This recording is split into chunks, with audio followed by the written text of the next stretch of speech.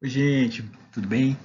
É, bom, eu estou dando continuidade né, a estas videoaulas que servem como um material assíncrono desse curso Escritores como Personagens da Literatura Ficcionalizada de Silviano Santiago. É, claro, para vocês terem aí como um arquivo, como uma consulta, né, para aqueles que não puderam comparecer na, no último encontro da gente, né, realizado no sábado.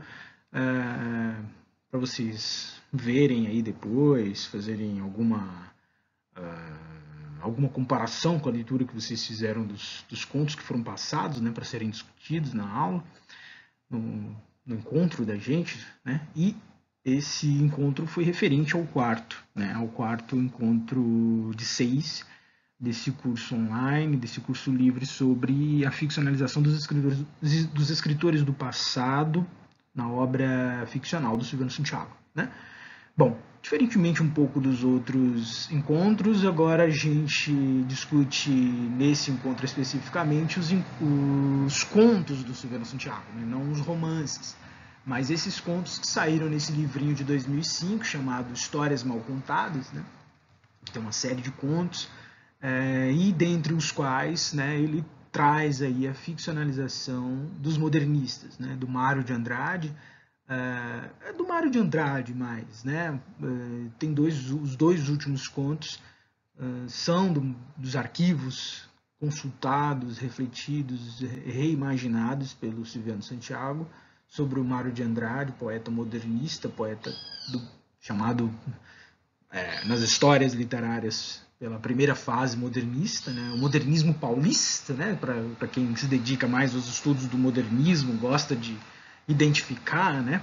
É, ali junto com Oswald, Oswald de Andrade, enfim, toda a, a, a gama de artistas, pintores, Tarsila do Amaral, né? enfim, poetas, Menotti Del Picchia, é, que estavam em torno da Semana de Arte Moderna, né? que ano que vem ano de 2022 completa 100 anos, né? centenário aí da Semana de Arte Moderna.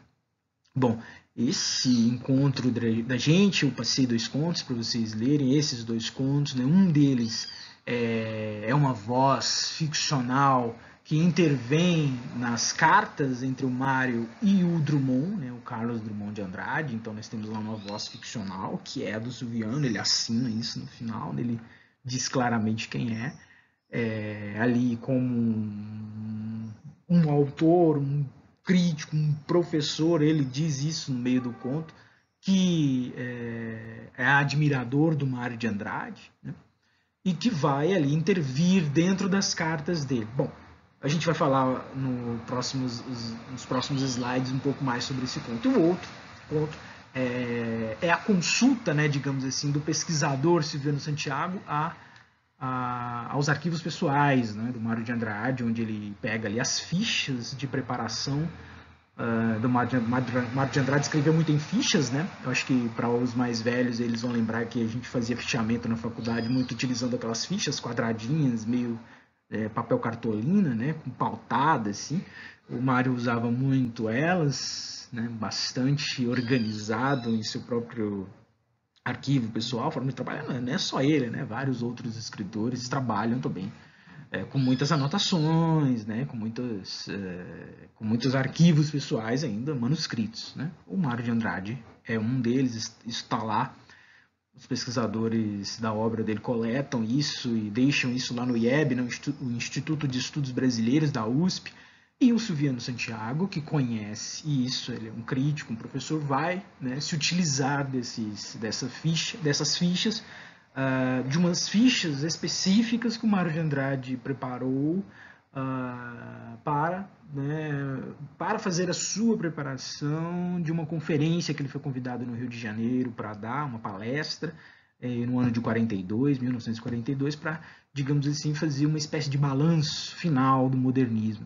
Estamos já quase 20 anos do modernismo, né, nos anos 40, né, início dos anos 40, e ele foi convidado para falar né, se o modernismo ainda, as ideias modernistas ainda existiam, se elas ainda permaneciam como foram gestadas.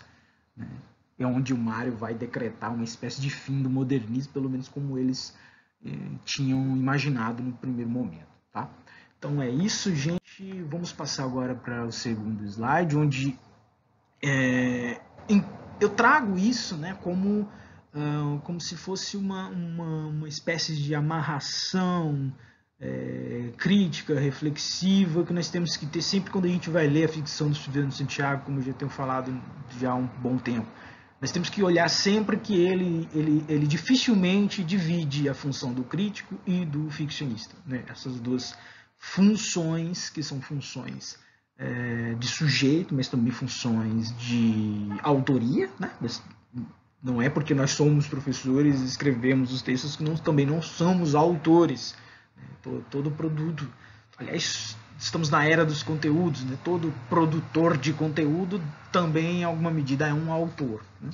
É, e esse, essas autorias são duplicadas, são desdobradas na obra do Silviano Santiago. Tá?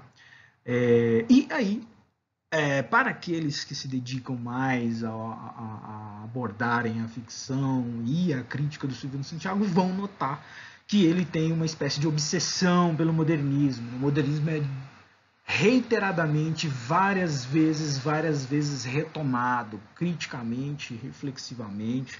Os próprios autores modernistas são ficcionalizados. Né? Bom, a gente falou semana passada do Antônio Artaud, né, no Viagem ao México. O Artaud é do modernismo, digamos assim, não é do modernismo brasileiro, é modernismo francês, né? Tá ali, digamos, com os autores surrealistas, né? Tá vinculado a um grupo produtor de arte né? Mas o Graciliano Ramos no Memórias, né? Aquele Graciliano Ramos, romancista de 30, também foi abordado, é o primeiro deles, né? Que a gente abordou no Liberdade. Então, assim, ele tem uma espécie realmente de obsessão, ele se interessa mais por esse período cultural, esse período produtor de arte no Brasil, tá? Bom, Nesse sentido, os autores considerados cânones do modernismo brasileiro, os personagens da historiografia literária, são reinterpretados não somente como agentes de produção artística, mas como sujeitos contraditórios e fragmentados quando postos em relação com os problemas éticos da época, exemplo das reviravoltas políticas a nível estadual e nacional. Né? Vamos pensar que é o Estado Novo, nos anos 30, final dos anos 30, como a gente já viu que acontece lá no período de vivência e de, digamos, de prisão do Graciliano Ramos, né? Mas é, é a Revolução Constitucionalista de 32, onde os modernistas também vão estar ali envolvidos ali em discussões, né? assim como também nas suas relações intelectuais com a máquina estatal vigente. Né? Nos trabalhos ficcionais em que promove a releitura dos personagens e escritores modernistas, o curador silviano tem privilegiado a estratégia do hibridismo discursivo e do anacronismo irônico. Né? É, bom, curador, eu já expliquei aqui em alguns momentos, por que, que eu uso essa nomenclatura, esse termo, né? o curador, exatamente porque não seria essa figura autoral central, autocentrada, esse autor criador, inventor, do, né? que inventa do nada, que inventa do zero, ou que pelo menos se apregoou durante um bom tempo na história da arte, que esse autor seria um criador original, né? assim como o gênio romântico, do romantismo alemão, sobretudo, apregoou, apregoava. Né? É, e os modernistas, em alguma medida, também levaram isso a, a, a, a, é, algum, algum desdobramento maior, quando se falava no, novamente numa originalidade da produção artística, na arte pela arte, enfim. É, isso é uma discussão tremenda, isso vai longe, mas o termo curadoria, né, hoje na literatura brasileira, que tem, sobretudo na literatura brasileira, né, que tem sido pensado aí por, por, alguns pesquisadores. Eu posso lembrar aqui a professora Luciene Azevedo, da Universidade Federal da Bahia, grande pesquisadora sobre isso, tem se dedicado a levantar alguns romances, alguns textos na ficção brasileira contemporânea que demonstram essa figura é, muito próxima da figura do curador nas artes visuais, né, que seria aquele que vai organizar os arquivos de um determinado autor, de uma determinada produção, e vai fazer uma montagem, né, vai montar essa produção novamente. É, aí tem muito de reciclagem cultural, é lógico que evidente que muitos vão fazer uma associação com as questões mais discutidas e debatidas no pós-modernismo, né, como se fosse um, um tempo das paródias, dos pastiches, das intertextualidades constantes nas obras e muito menos um desejo, uma necessidade de criar do nada, de criar do zero. Né? Enfim, a gente pode voltar aí o, o Jorge Luiz Borges para pensar essas, essas questões todas na, na, biblioteca inacabável dos autores. Nós podemos pensar nos próprios textos críticos do Silviano Santiago, como eu já disse, né, que há, há, ali uma espécie de, de, de, desejo de escritura, né, isso, é uma, isso é um termo do Roland Barthes, né, mas que nós podemos observar isso muito claramente na ficção do Silviano Santiago, quando ele não se contentam com o lugar de leitor, né, ele não quer ficar somente do lado de fora é, do crítico, como se tivesse um distanciamento entre o crítico e a obra, e a vida do autor lido. Ele quer também interagir de alguma forma com isso e ele utiliza-se da ficção para isso. Né? É, bom, e ele tem privilegiado essa estratégia, uma estratégia narrativa né, do hibridismo discursivo, dessa mistura, dessa mescla entre ficção, ensaio, crítica o tempo inteiro e do anacronismo irônico, que é outra tônica da contemporaneidade, se a gente for parar para pensar que é, essas distâncias temporais elas já são mais é, abolidas né, a partir da, do discurso, a partir do texto e a partir da linguagem, isso muitas vezes evidente uh, pela metaficção, pela intertextualidade, pelos usos é, das edições paratextuais, enfim. Bom, dando seguimento aqui, aí eu trago somente como exemplos né, onde essa obsessão vai aparecer na, na produção crítica dele. Né, eu trago aqui apenas dois livrinhos é, que demonstram isso muito, né? muito evidente. Então, tem vários textos ensaísticos e críticos sobre os modernistas pelo Silvio Santiago, está lá no, na coletânea Nas Malhas da Letra. É, As Malhas da Letra não é de 2002, é somente esta edição que eu estou mencionando aí, né? lá dos anos é, 80. É, e temos aí o Fechado para Balanço, exatamente que tem um diálogo muito forte com um dos contos que a gente vai dizer, o que eu estava falando agora do Caíram as Fichas, do Mário de Andrade, a permanência do discurso da tradição no modernismo, o intelectual modernista revisitado, vejam que três somente nesse livro. Né? E depois, no Hora Direis Puxar Conversa, que também é uma outra coletânea de ensaios, né? os livros do Silviano Santiago, é, agora que ele tem, agora mais, mais próximo ao nosso tempo, né, de 2021, ele tem mais produzido livrinhos ensaísticos de um, sobre um autor ou uma obra só. Mas de, na obra do Silviano Santiago, na obra crítica e ensaística dele, é muito comum ele, é, ele ter produzido em larga escala, produzido é, muito, né, para publicar em diversos, em diversos veículos, né, jornais, revistas, não só no Brasil, mas no contexto latino-americano e é, no mundo, né, disseminados por aí.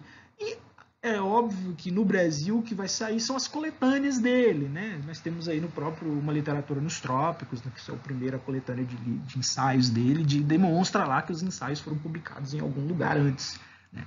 E aqui, nesse Hora de Iris Puxar Conversa, de 2006, é, nós temos o convite à leitura dos poemas de Carlos Drummond de Andrade, Hora de Iris Puxar Conversa, que dá título ao, ao próprio livro, e Oswald de Andrade, grafado é, com né, com caixa alta, elogio da tolerância racial. Enfim, três e três aí somente para evidenciar que é um, é um interesse muito grande do intelectual Silviano Santiago voltar ao tema do modernismo.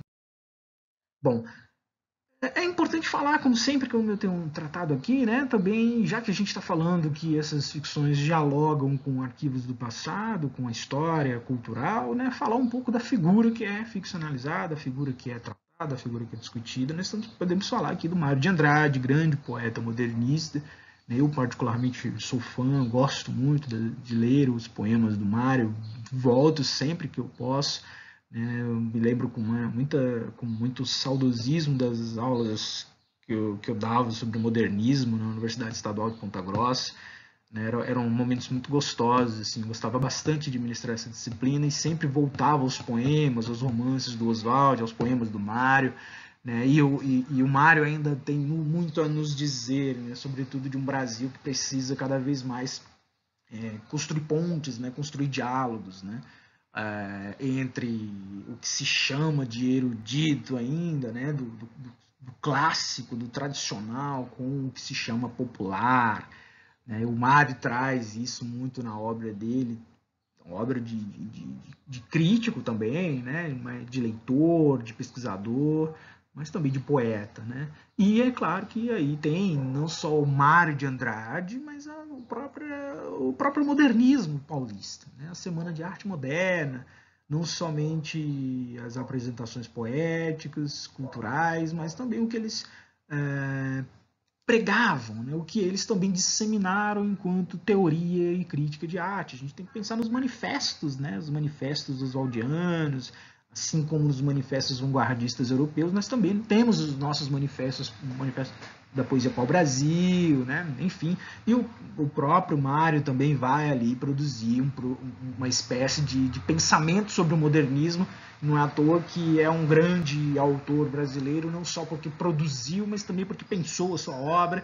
E o Silviano, o Santiago, em diversas oportunidades, ele sempre diz é, ser um grande admirador, nesses contos ele vai deixar isso claro, né? um grande admirador da, da, da, da poética do, do Mário. É, o Mário também tinha uma coisa do deboche, uma coisa assim do... do é, a gente associa muito isso ao Oswald, né? o Oswald de Andrade é o debochado, a poesia dele. Mas, né, dizem os, os, os depoimentos de quem conviveu, de, de tudo, uma ironia fina do, do, do, do, do Mário às vezes um deboche sobre algumas coisas, sobre algumas coisas políticas, sobre algumas coisas, é, sobretudo na relação entre a literatura, os, os literatas do período e a política. Então, isso tudo gera um caldo, né? essa biografia, é, é, é, é digamos assim, que, que, que questiona, né? que que, que discute, que né, impede uma, a, a, imagem, a emergência de uma, de uma imagem de uma figura autocentrada, fechada sobre si própria, uma figura estática. Nós temos aí uma figura é, com diversas rupturas, com diversas com diversos desdobramentos, né? Ele, ele é um sujeito desdobrado sobre si próprio, na própria biografia. Né? E a gente está falando da biografia, está falando dos textos que falaram sobre o Mário de Andrade. É óbvio, né? O Silviano Santiago não conviveu com o Mário de Andrade. Ele não viveu o mesmo período do Mário de Andrade, embora tenha nascido é, no ano de 36 e o Mário ainda estava vivo. Mas, enfim, não, não foram convíveis, né? não, não, não estiveram juntos. É, então, o o intelectual contemporâneo, esse que está vivo e produzindo agora, vai ter contato com a sua obra, com a sua vida, aquilo que se falou sobre a vida dele e a própria narrativa da historiografia literária que a gente tem falado desde o início, desde o primeiro, primeiro momento do curso, né? É, lembro sempre o texto do Carlos Reis aqui como um, texto importante para a gente pensar essa figuração é, desses autores do passado enquanto personagens de uma narrativa historiográfica da história, da, da história literária. Né? A gente tem que pensar a história literária como uma narrativa. Bom, aí a obra do Mário também, né? O diálogo é sempre entre a vida e a obra, evidente, né? Ele, ele é um leitor dos textos do Mário. Aí a gente pode lembrar do Macunaíma, do Paulicé Desvairada, das poesias como um todo, né? Losango Caque, uh, o amar verbo transitivo, o remate de males, enfim.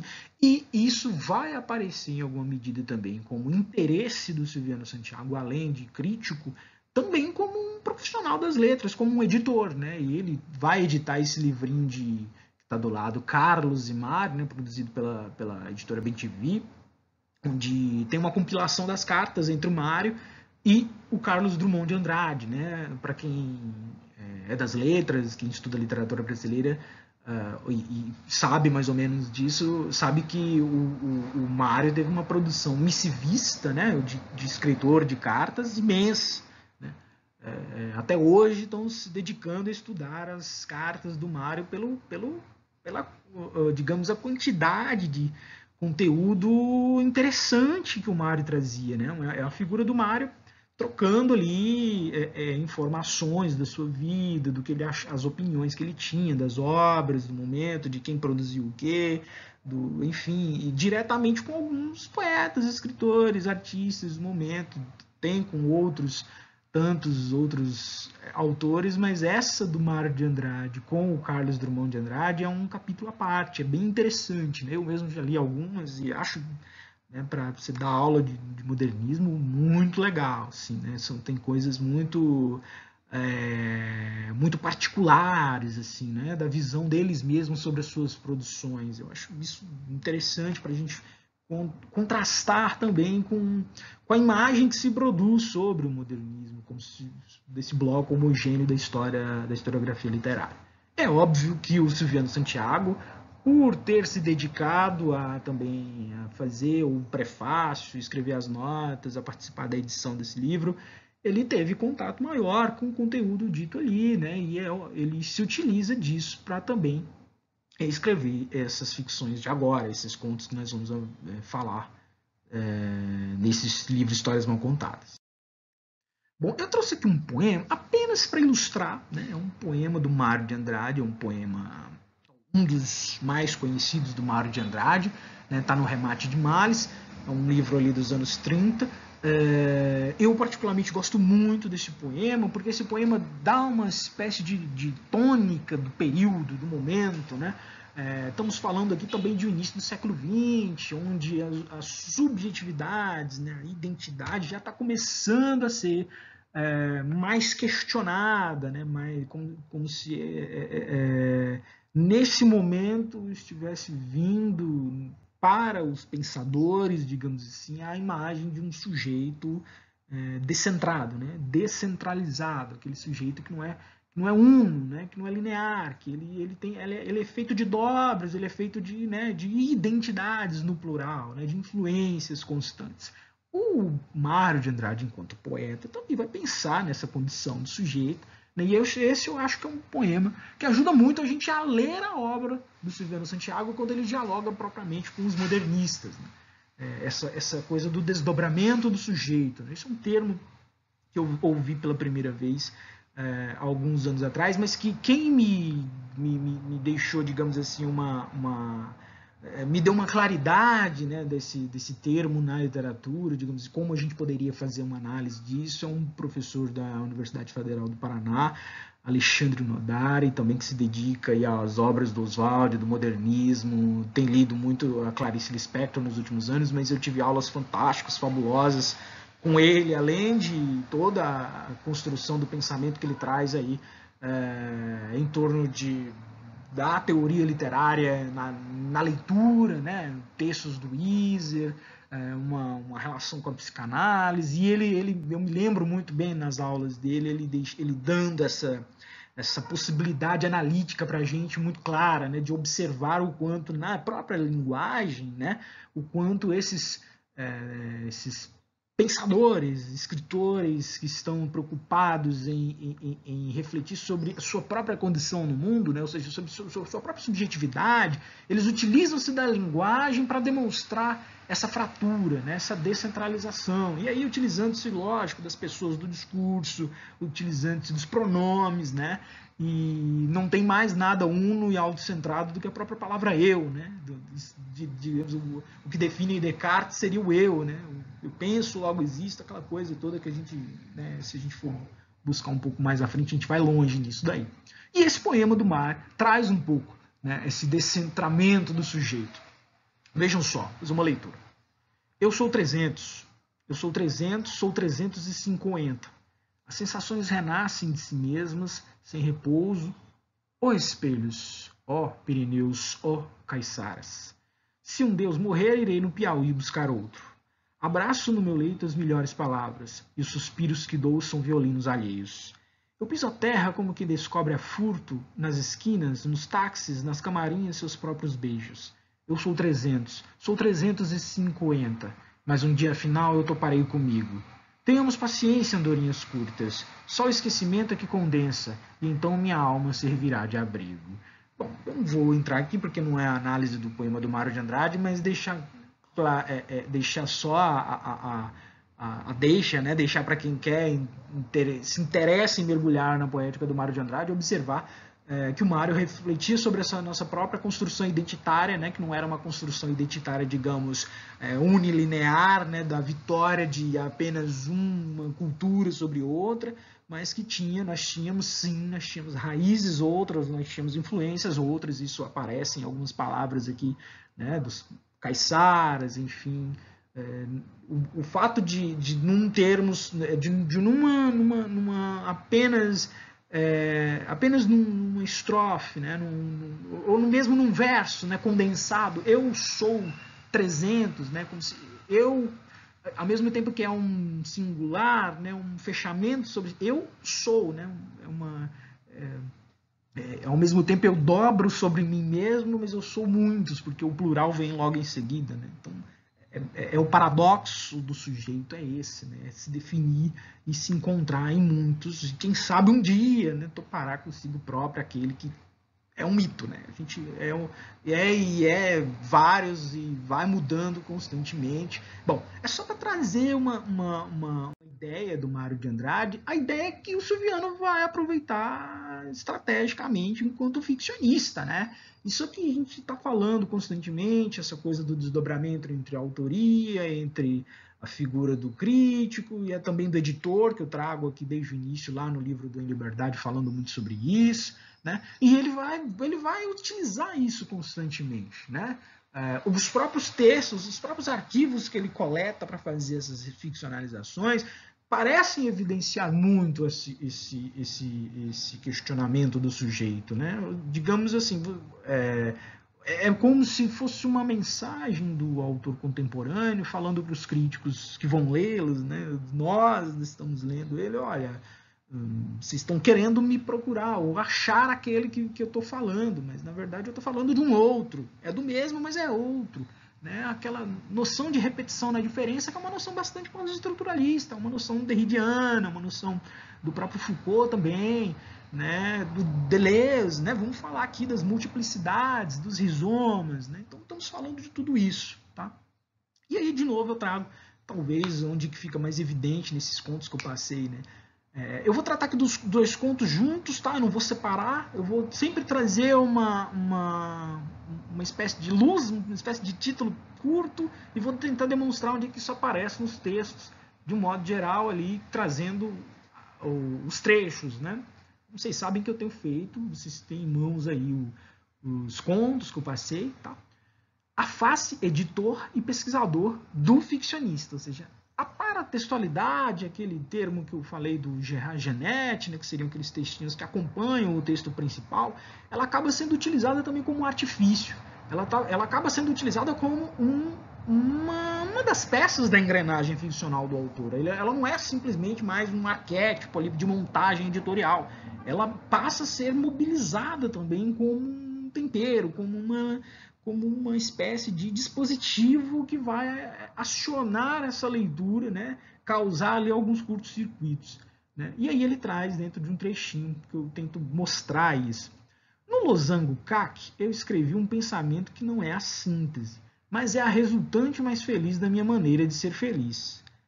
A própria dor é uma felicidade. Para a felicidade inconsciente, por assim dizer, física do homem comum, qualquer temor, qualquer dor é empecilho para mim, não porque pela minha sensibilidade exagerada, pela qual eu conheço por demais. A dor principia, a dor se verifica, a dor me faz sofrer, a dor acaba. A dor permanece na sua ação benéfica história, história moral. A dor é um dado de conhecimento. A dor é uma compreensão normalizante da vida, a própria dor é uma felicidade. Isso é um trechinho da carta mesmo, do Mário, escrita para o Carlos Drummond de Andrade. Nós temos um conto, o primeiro conto, Conversei ontem à tardinha com o nosso querido Carlos, é uma voz que é a voz do Silviano, escrevendo no hoje, né, depois de muito tempo, tentando intervir, né, tentando escrever. Ele está escrevendo uma carta para o Mar, dizendo como o Drummond recebeu a carta do Mar sobre a, o Drummond, a poética do Drummond, e ele está ali tentando contemporizar, falar que o Drummond ainda não recebeu tudo é, ele não assimilou todo o conhecimento, todo o ensinamento do Mário de Andrade. Né? Ele estava falando, ó, calma aí, Mário. O, o, Drummond está indo aos poucos, mas eu estou aproveitando esse seu ensinamento, porque me interessa muito. Né? Eu, essa voz dizendo isso é é uma ironia, é óbvio, é uma ironia temporal, né? O, o, o, Silviano realmente só pode escrever uma carta ficcional para o Mário, o Mário está morto, né? Enfim, vamos pensar, vamos pensar também na função da carta, né? na função da escrita da carta, esse eu que escreve para outra pessoa. Ele escreve para um destinatário, né? Esse destinatário, a gente viu essa discussão lá no Em Liberdade, né? Do diário. Né? Percebam que isso vai modificando a cada texto ficcional dele, ele usa a função da escrita na carta, a função do editor, a função do pesquisador, a função do diarista, aquele que escreve um diário, ou seja, são funções de escrita que o Silviano está mobilizando. É, ó, é óbvio, né? ele é um professor de literatura, ele é um crítico, ele tem esse conhecimento, só que ele ficcionaliza esse conhecimento, ele traz para dentro da sua ficção com uma metaficção, né? E como a gente já viu, a metaficção ela duplica a ficção sobre si própria, mas ela não fecha. Né? Pelo menos na metaficção historiográfica, como a gente está utilizando aqui uh, no sentido da Linda Hutchon, uh, a metaficção historiográfica, ao invés dela fechar a obra sobre si própria, ela fecha e abre. Por quê? Porque nós temos um componente historiográfico, nós temos um personagem aí. Então, ao mesmo tempo que a arte se fecha dentro para pensá-la própria, ela se abre para a história, ela se abre para o real. Esse real, digamos assim, relatado historicamente sobre uma figura. Essa figura aqui é a carta do Mário. O Mário escreveu isso daí. Né? Ele está lá coletando arquivisticamente isso que o Mário escreveu, jogando dentro da ficção dele. E aí eu coloco aqui várias interrogações exatamente para pensar como é que a gente, dentro, digamos, é, das normatações, das formatações é, bibliográficas, a gente aprende isso na universidade, né, na academia, a colocar um APUD quando essa citação não é nossa ou não é daquele que a gente acessa, mas é de um terceiro. Então a gente vai lá, ó, é, esse está dizendo o que o outro disse. Como é que a gente faz isso num livro de ficção? É difícil. Por quê? O texto integralmente é do outro um fragmento, o texto. Ele fala, ah, porra, ele plagiou. Falo, Exatamente, é um plágio. Mas é um plágio ficcionalizado. A gente tem que pensar que é um plágio artístico. O que, que ele está fazendo com isso? O que, que ele está mobilizando? O que, que ele está querendo com isso? Né? Eu acho que muito mais do que a gente ficar identificando aqui como um, um, um, inspetor, um investigador de polícia. Ah, esse aqui roubou o texto do outro, como alguns críticos é, muito bem intencionados já fizeram com algumas ficções históricas contemporâneas, a Ana Miranda que o diga, Ana Miranda, escritora do Boca do Inferno, né? Ela já sofreu com isso e vários outros pela vários outros autores, né? De que ah, esse texto não é dela, esse texto é do outro. Exatamente. Vamos parar para pensar o que ela quis dizer com isso daí.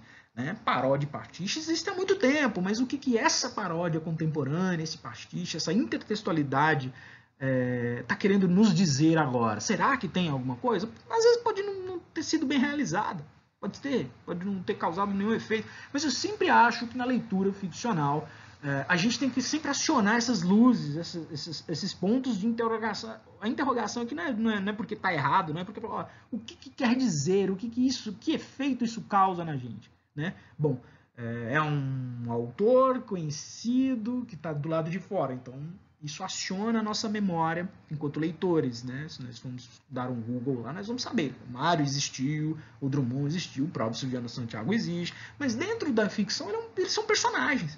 E quando eles estão na função de personagens, o que, é mais real lá fora que é válido lá dentro? É algo para se pensar, né? O que, que ele está querendo com isso, né? Então, e, o, e nesse sentido, a leitura que a gente faz do conteúdo veiculado, daquilo que é discutido, muda, modifica, ressignifica. Né? É isso que a gente fala, é, por vezes, que seria uma espécie de ressignificação do passado. Né? Não do, do, que se, do que existiu, mas do que se falou. Né? Ressignificar o passado não é modificar, não é ir lá como uma máquina do tempo e alterar o que aconteceu, mas é muitas vezes modificar ou olhar por um outro viés, por um outro ponto de vista aquilo que aconteceu. Né? E isso muda os nossos sentidos, né? isso altera os sentidos. Tá? Bom, eu, outro trechinho também, eu não vou ler todos os trechos, mas por enquanto esse eu vou ler, porque eu acho que ainda é, faz muito sentido pelo que eu estou falando. Né? Em, um outro, em um outro momento, ele vai dizer isso, e isso é o editor, pesquisador Silviano Santiago dizendo. Tá? Mário deu as 19 fichas a um amigo carioca, ou deixou-as em suas mãos para a posterior reprodução facsimilar acadêmica.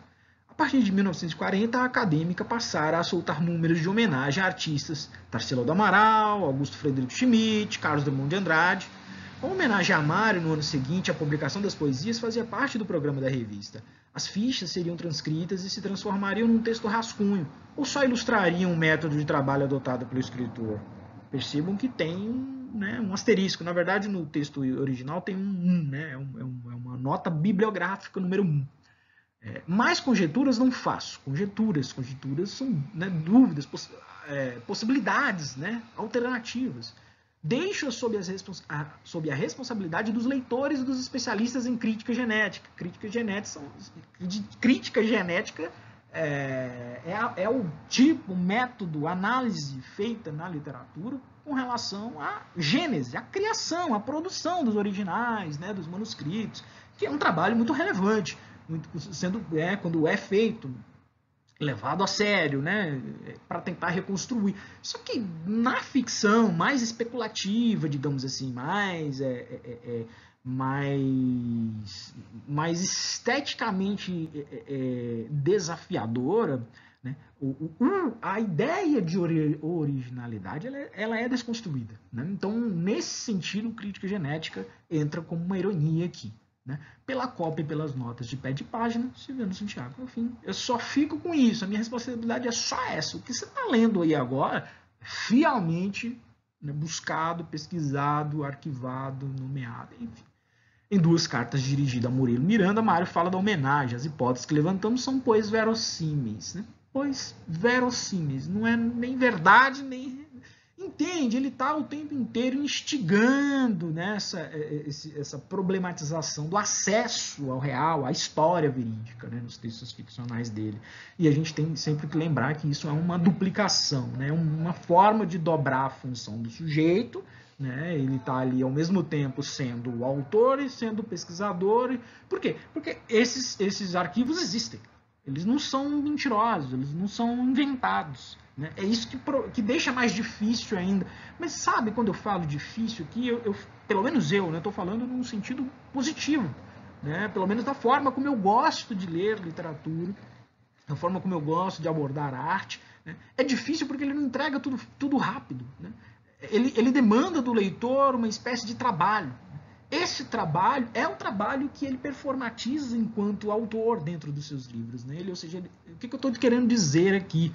Isso, numa, utilizar um conceito do Jacques Rancière, né, como um espectador emancipado. O Silviano Santiago está fazendo na, na, na, obra dele, ele falou, olha, eu simplesmente não li somente. Eu li e escrevi. É ler e escrever a obra do outro, é ler e escrever sobre o outro, é ler e escrever como um palimpsesto, você vai criando um novo texto, que é tudo que a gente faz no final das contas eu estou fazendo um novo texto aqui, apresentando, recortei, selecionei, montei. Eu também estou sendo um curador em alguma medida aqui. Então, ele está demonstrando o quanto que a atividade leitora demanda engajamento, demanda trabalho, exercício. Bom, o desdobramento do sujeito eu já falei várias vezes, vou só passar aqui eh, de forma topicalizada. Então, nós temos lá o desdobramento do sujeito do personagem Mário e do autor Santiago. Mário era autor e é personagem os textos dele enquanto autores e diversos tipos de autores, né? enquanto autor poeta, enquanto autor é, missivista, aquele que escreve cartas, tá aí dentro do texto ficcional do Silviano Santiago também. Então tá lá, Mário é poeta, crítico, amigo, missivista, colega e padrinho. Né? Se for parar para pensar na relação com Carlos Drummond de Andrade, por exemplo, que a gente acabou de ver, eu mencionei o conto aqui, é, que é baseado na carta que ele escreve para o Drummond. E temos o Santiago, é autor, crítico, personagem, porque ele entra dentro do, do próprio livro, depois também como editor, ele tá. É um personagem criado por ele mesmo e nomeado por ele. Ele nomeia, ele fala, não, não me escondo, sou eu. Né? Editor, pesquisador, leitor e amigo ficcional, né? porque ele, ele, ele, ele, ele, ele entra dentro, digamos, ele é bisbilhoteiro, né? e ele utiliza esse termo em algum ensaio crítico dele que eu acho fabuloso, né? o leitor bisbilhoteiro, aquele é, é um abelhudo, eu me meto nesse caldo, eu vou me jogar aqui. É um entrão mesmo, né? um entrão, mas um entrão provocativo, ele está provocando, ele está falando, olha, tá vendo tudo como tá bem organizadinho na história brasileira, tudo muito homogêneo, vamos dar uma bagunçadinha? Vamos dar uma, uma misturada, vamos chacoalhar um pouquinho para ver outras coisas, para ver, né, ou observar outros elementos. É meio isso que ele faz. Né? Ao fim desta carta, já não sei se estive falando de você e do Carlos ou de mim mesmo todo o tempo, ele diz claramente que o, o, Mário de Andrade é um dos guias dele, mestre dele.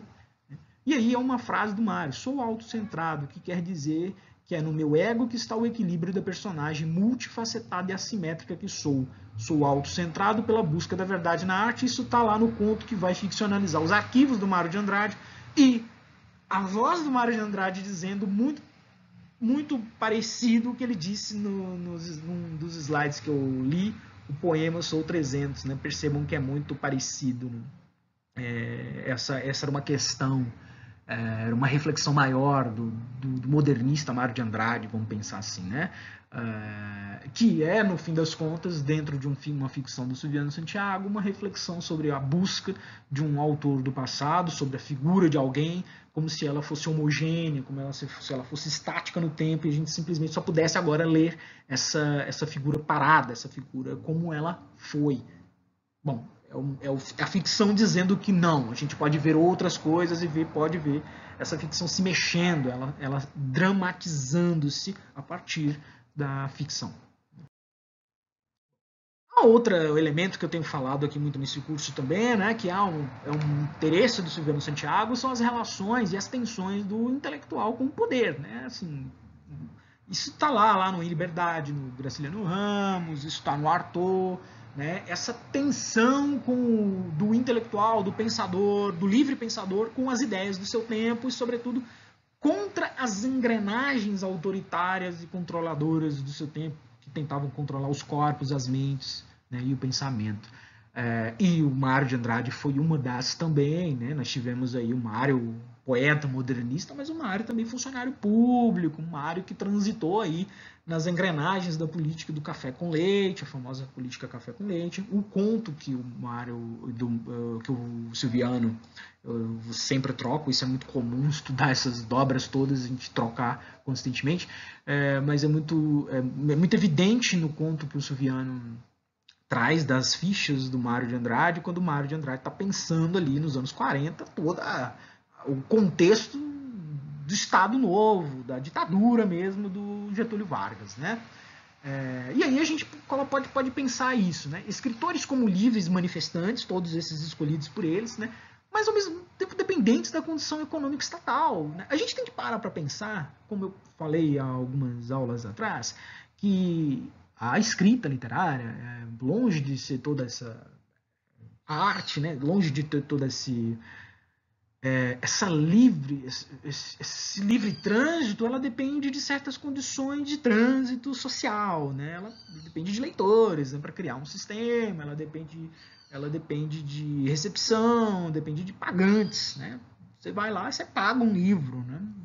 Ah, alguém pagou para a edição de um livro, então ele depende muito de muito isso. E pensando no modernismo, modernismo como um movimento cultural que tentava modificar a paisagem cultural do país, né, contra, digamos, as ideias burguesas, né, aquele intelectual de salão, como os próprios modernistas falavam muitas vezes dos parnasianos, tipo Olavo Bilac e a, e a turma toda. É, mas para fazer isso tinha também um interesse político por trás disso. Né? Nós temos que pensar que São Paulo é, vai entrar na vanguarda das mudanças das mudanças econômicas no início do século XX com a produção do café, né? É, com a, depois logo com a industrialização.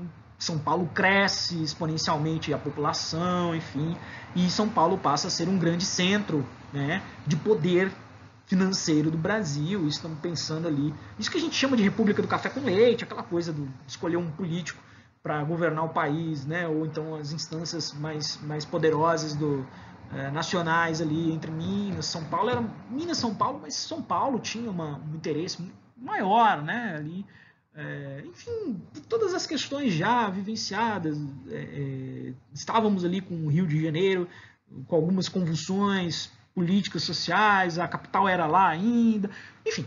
Isso é história, esse é o contexto, o panorama histórico, eu não vou entrar tanto nisso daí, porque isso ele vem, ele, ele aparece nessas ficções do Silviano Santiago como dramatizações, de novo, ele não aparece como pano de fundo, como eu já falei algumas vezes. É muito, é muito equivocado da nossa parte quando a gente quer ler ficção histórica e, sobretudo, analisar a ficção histórica, a ficção em relação com a história, querer encontrar a história somente como um pano de fundo. Então, o que está acontecendo ali aconteceu somente porque aconteceu nesse tempo sabe? Como se fosse realmente uma relação de causa e efeito. Não, né?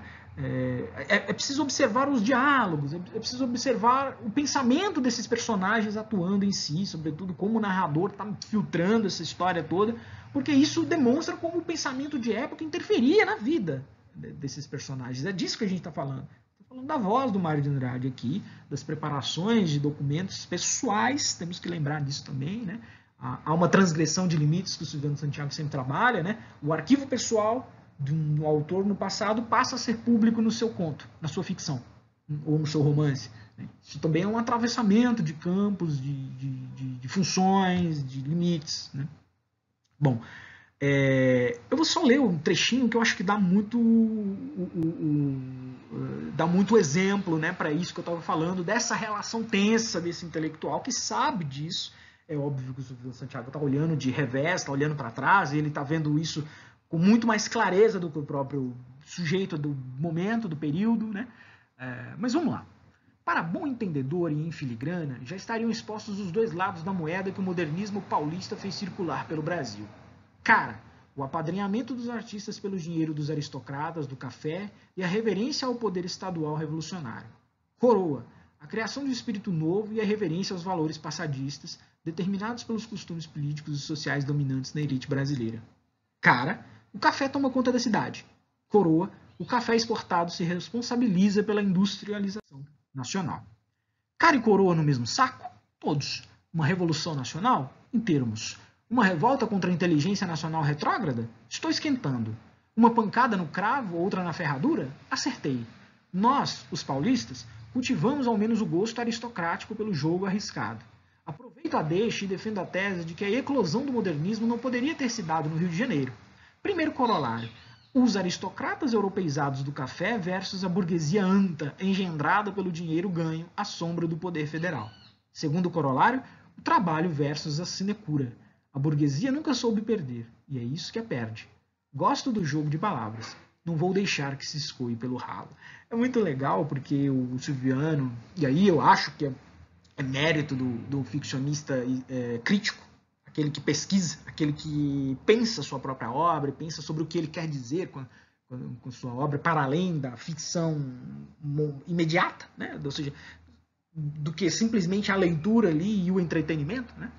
é, é que ele vai atrás exatamente é, é, é dos caldos, das polêmicas, do, do, daquilo que a gente chama de comezinho, daquilo que é muito pequenininho, como se fosse uma opiniãozinha dada, trocada entre pares, mas que ele coloca na dramatização dele do período, e como eu falei mais cedo, se é uma obsessão do modernismo, é, é na obra dele, é porque ele, ao mesmo tempo que ele reverencia o modernismo, ele acha o modernismo uma grande, um grande acontecimento do país, ele fala, olha, o modernismo foi um, um, um período cultural, artístico, é, mas era político também. A gente tem que parar para pensar sempre nisso. E quando eu digo político, é porque ele, de novo, aquela, aquele conceito de político que eu sempre uso, da divisão das organizações dos corpos e das mentes, ou seja, quem controla isso tudo. O modernismo só existiu também, digamos assim, foi ganhou força, transitou pelos é, por lugares que demandava dinheiro para circular, os autores estudaram fora, porque também houve um certo patrocínio. Isso os, autores, os, os, pesquisadores do modernismo vão falar muito sobre isso. Né? Pode ir lá no, no João Luiz Lafetá, professor da USP, é, enfim, vários outros grandes escritores, Antônio Cândido, né, que vão dizer que o modernismo é, é, é enfim, por mais crítica à burguesia que se faça, os autores são burgueses, né? Em alguma medida também eles têm dinheiro, eles, eles transitam na classe média paulistana do momento, aquilo todo. Só que assim, é isso. É, o Silviano traz aqui a voz do próprio autor demandando essas reflexões todas. Né? Uma coisa é a reflexão que ele está fazendo nos anos 40.